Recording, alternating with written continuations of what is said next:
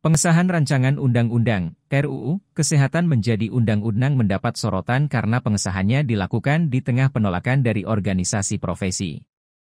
Diketahui, DPR resmi mengesahkan RUU Kesehatan menjadi UU dalam rapat paripurna di Jakarta, Selasa, 11 Juli 2023. Persatuan Perawat Nasional Indonesia, PPNI, Kabupaten Belitung pun memberikan tanggapannya.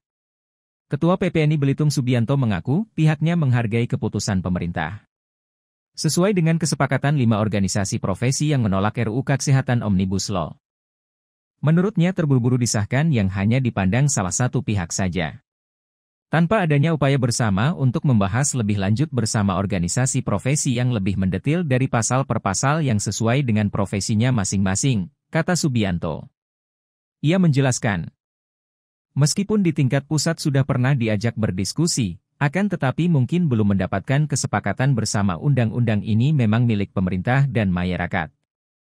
Oleh karena itu, terutama sekali kami dari PPNI, baik tingkat kepengurusan pusat, Provinsi dan Kabupaten seluruh Indonesia menolak UU Keperawatan nomor 38 tahun 2014 diikut sertakan ke dalam UU Kesehatan yang baru karena UU Keperawatan nomor 38 tahun 2014, ucapnya.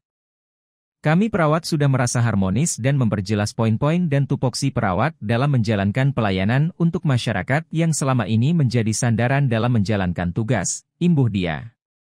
Disahkannya undang-undang ini, kata Subianto, banyak pasal UU keperawatan yang habis dipangkas. Tidak dimasukkan ke dalam UU kesehatan yang baru. Padahal selama ini para perawat sudah merasa nyaman dan terlindungi dengan adanya UU nomor 38 tahun 2014 tentang keperawatan dan penuh perjuangan yang panjang untuk disahkan pada tahun 2014 dan ini merupakan aset bangsa yang perlu dipertahankan supaya tidak ada yang dirugikan bagi pelayanan masyarakat, tuturnya.